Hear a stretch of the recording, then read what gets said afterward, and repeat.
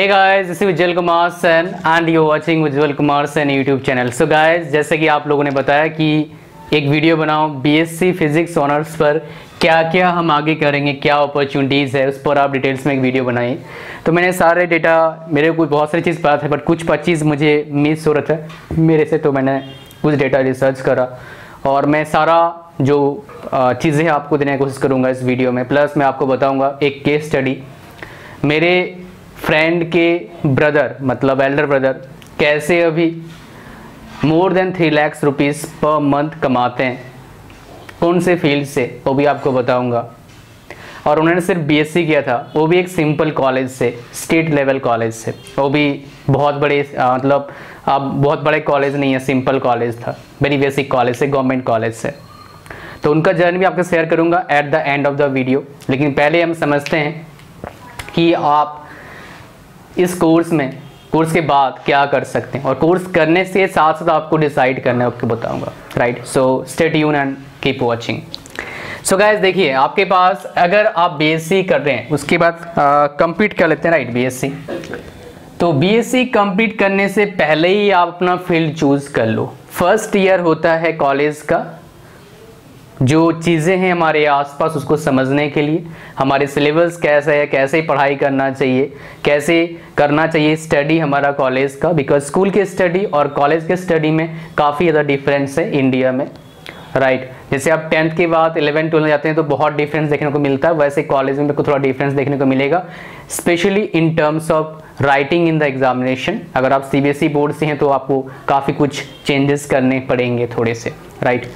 तो गाइज़ हमारे पास वो चीज़ें आपको अडेप्ट करना है फ़र्स्ट ईयर में और साथ में क्या करना है? बहुत सारे फ़ील्ड को आपको एक्सप्लोर करना है फ़र्स्ट ईयर में, ताकि आप राइट फ़ील्ड चूज़ कर पाओ कि मुझे किस फ़ील्ड में जाना है।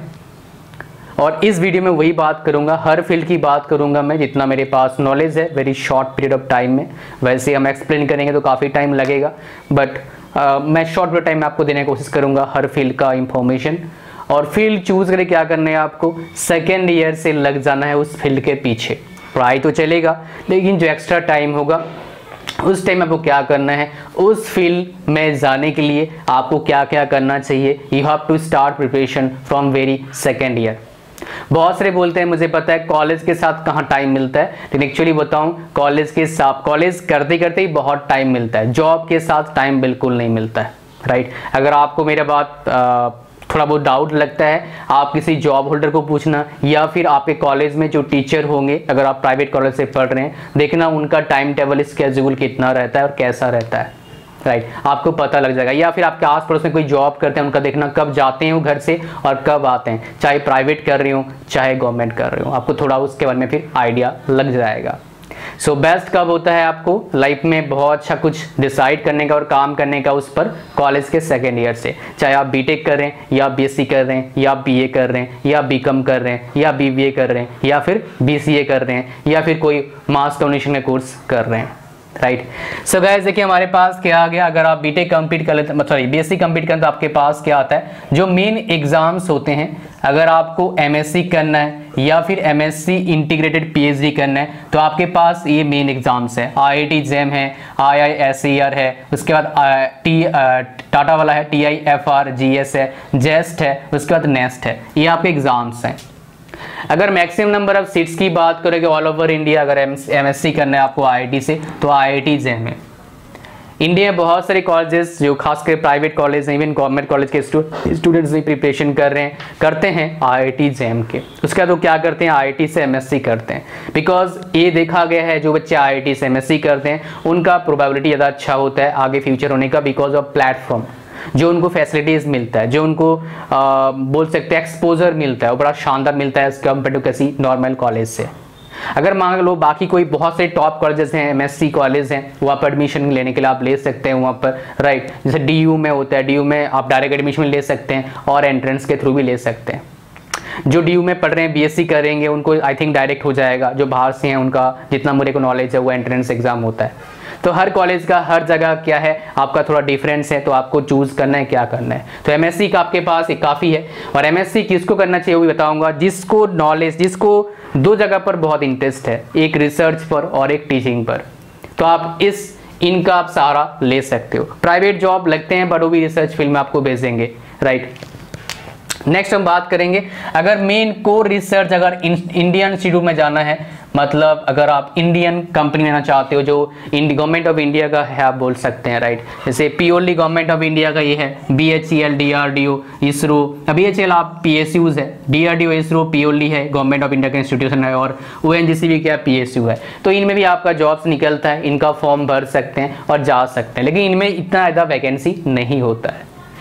आई आई में अच्छा खासा वैकेंसी होता है। इनमें इतना वैकेंसी नहीं होता है, इनमें भी इतना वैकेंसी नहीं होता है। उसके अगर बात करते हैं कि सर भाई साहब, मुझे और पढ़ाई नहीं करना है। I don't to study any more मुझे अब जॉब चाहिए, वो भी गवर्नमेंट जॉब तो आपके पास सबसे ज़्यादा अपॉर्चुनिटीज़ इनमें हैं। ये सारे अपॉर्चुनिटीज़ हैं। स्टेट लेवल का एग्ज़ाम लगभग हर साल होता है एस एस सी सी का एग्ज़ाम हर साल होता है यूपीएससी का एग्ज़ाम भी हर साल होता है। रेलवे का एग्ज़ाम भी लगभग हर साल होता है और आईपीएस का जो बैंकिंग लेवल एग्ज़ाम है, वो भी हर साल होता है। तो आप किसी भी एग्ज़ाम को पकड़ो, उसका प्रिपरेशन करना शुरू कर दो। सेकेंड ईयर से। प्रिपरेशन करने के लिए क्या करना है आपको? जो भी एग्ज़ाम देना है, उसका आप क्या करिए? सिलेबस डाउनलोड कर लीजिए। उसको प्रिंट आउट निकाल लो। सिलेबस के अकॉर्डिंग किताब परचेज कर लो। आप थियोरिकल कंसेप्ट क्लियर करो नेट से या फिर आपने खुद पढ़ के थोड़ा पहले पढ़ो, फिर नेट से क्लियर करो, फिर प्रीवियस ईयर सॉल्व करो टेस्ट सीरीज़ बाय करो टेस्ट सीरीज़ दो दैट सेट ये पैटर्न होता है। अगर खुद पढ़ने का आपको मन नहीं कर रहा है गो टू कोचिंग सेंटर वो भी फ़िज़िकल कोचिंग सेंटर ऑनलाइन मैं रिकमेंड फ़िलहाल नहीं करता हूँ बिकॉज़ एक रिसर्च में पाया गया है ओनली बारह परसेंट बच्चे जो ऑनलाइन वेल डिसिप्लिन के साथ पढ़ाई करते हैं इंडिया में। बाकी एटी परसेंट क्या करेंगे भाई? तो इसे मैं सबको रिकमेंड करता हूँ, भाई साहब go for offline right because इसमें मेरा नुकसान है भाई बिकॉज़ ऑनलाइन हमारा है बट क्या कर सकते हैं? जो सच है सच है राइट सो गाइस हमारे पास ये आ गया आपके गवर्नमेंट जॉब्स का। अगर बात करोगे सर आसान कौन सा भाई? देखो, आसान कोई नहीं है। गवर्नमेंट जॉब लेना है तो सारे गवर्नमेंट जॉब के पीछे पड़े हुए हैं तो आपको मेहनत तो करना पड़ेगा। You have to put effort right आपको एफर्ट डालना होगा। और कितना टाइम लगता है? बहुत अक्सर पूछते हैं बच्चे, कितना टाइम लगेगा मुझे गवर्नमेंट जॉब क्रैक करने के लिए?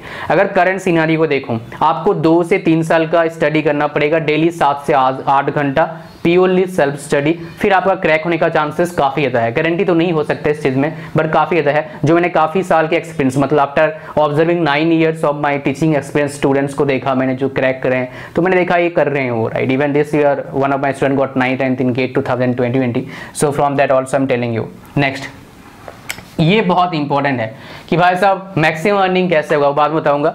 उससे पहले बात करते हैं टीचिंग में अगर इंटरेस्ट है तो क्या करना है आपको? बीएड कर लेना है। बीएड करना इतना डिफ़िकल्ट नहीं है। बहुत कॉलेज में प्राइवेट भी है गवर्नमेंट भी है। तो आफ्टर बीएससी आप क्या कर सकते हैं? बीएड में एडमिशन ले सकते हैं। आफ्टर बीएड क्या कर सकते हैं आप? टेट का एग्ज़ाम दे सकते हैं। तो टेट का एग्ज़ाम दो तरह का होता है। एक सी टेट होता है सेंट्रल लेवल पर। और एक क्या होता है? आपके स्टेट लेवल का होता है। तो आप टेट का एग्ज़ाम देकर क्या कर सकते हैं? एग्ज़ाम क्रैक कर सकते हैं। प्रिपरेशन की स्टडी वही है, जो पहले आपको बताया मैंने।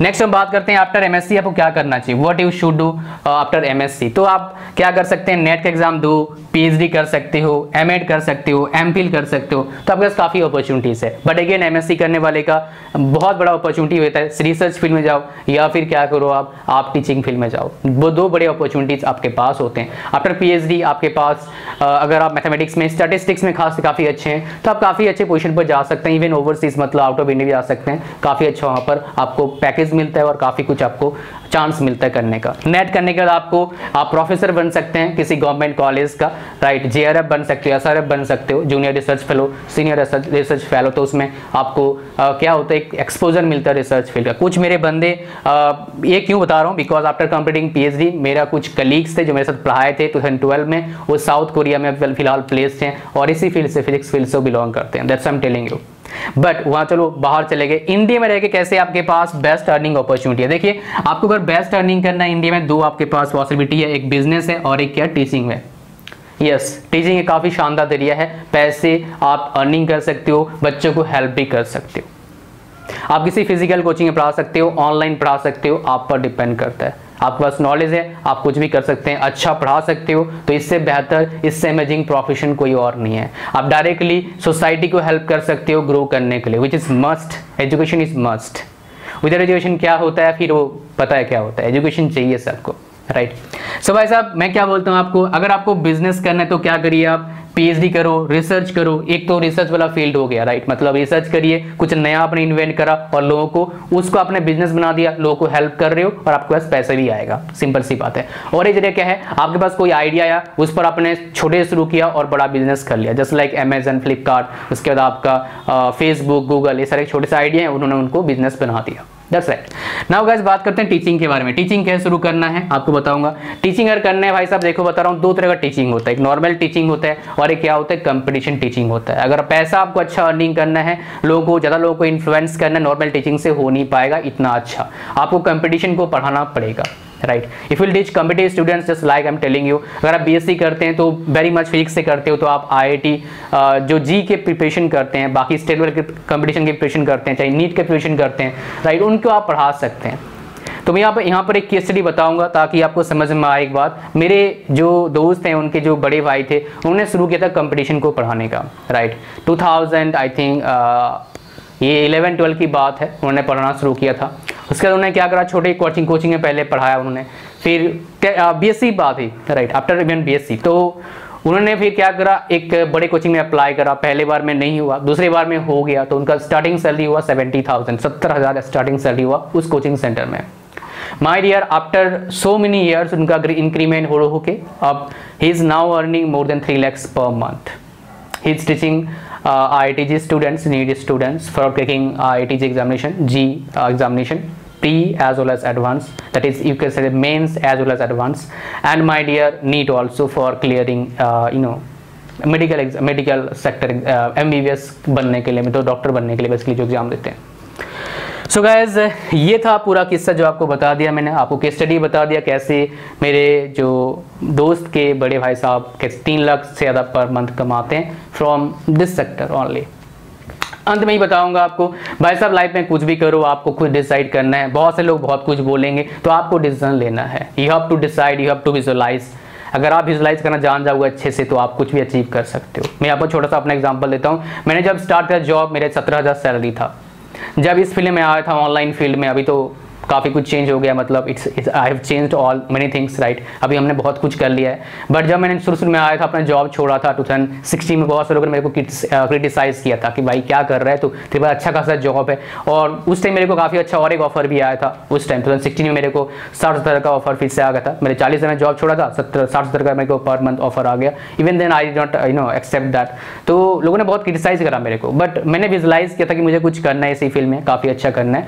और now things has been changed right जो क्रिटिसाइज करते हैं, वही बोलते हैं, काफ़ी अच्छे कर रहे हो आप. राइट अभी तो और अच्छा बोल रहे हैं बिकॉज़ उनका काम फ़िलहाल बंद है बिकॉज़ ऑफ़ कोरोना बट ये सिचुएशन ऐसा नहीं रहेगा, मुझे पता है। तो आपके पास जब भी अपॉर्चुनिटी रहता है, जो भी आप अच्छे से पढ़िए, मैं बोलूँगा put your hundred percent effort और रही बात, अगर बोलोगे, सर, बाकी सब खाली पढ़ाई करेंगे, खाली पैसे पैसे अगर सोचेंगे तो लाइफ कैसे एंजॉय करेंगे? That is the correct question life को एंजॉय के लिए क्या करना होगा आपको, भाई साहब? You have to enjoy the moment जो भी सिचुएशन है, पढ़ाई के टाइम पढ़ाई करना है, घूमने के टाइम घूमना है, माँ, पापा मम्मी से बात भी करना है राइट एंड माई डियर ये फालतू चीज़ में मत फंसो राइट आप अपने प्रायोरिटी के अकॉर्डिंग काम करो ए बी सी एनालिसिस पर काम करो। जो ज़्यादा प्रायोरिटी वाला चीज़ है, जैसे आप पढ़ाई करोगे, आपका टू आप कोचिंग कॉलेज में जा रहे हो तो आपका फ़र्स्ट प्रायोरिटी क्या है? पढ़ाई करना, अच्छे से अपने आप को अच्छा ग्रोथ करना, अपना जो माइंड है उसको डेवलप करना। तो फ़र्स्ट प्रायोरिटी वो है।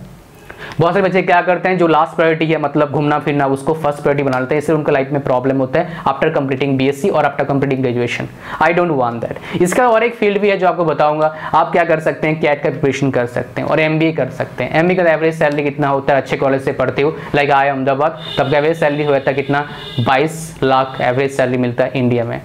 So that is also a good sector after B S C you can go for it right M C भी करते हैं बहुत सारे बट uh, मेरे हिसाब से M B A better field है after B S C I don't recommend M C but it's on you आपको क्या किस फ़ील्ड में जाना है? So guys thank you very for watching this video and like करें इस वीडियो को। दोस्तों, ज़रूर शेयर करें। चैनल पर नए हो सब्सक्राइब करो चैनल को। कोई और क्वेश्चन है, पूछो। I try to create a video for that thank you for watching और नीचे लिंक है इंस्टाग्राम का, मुझे फॉलो कर सकते हैं। मैं वहाँ पर लाइव आता हूँ। मुझे आप क्वेश्चन पूछ सकते हैं live thank you very much bye see you soon your time bye good luck best of and God bless you all thank you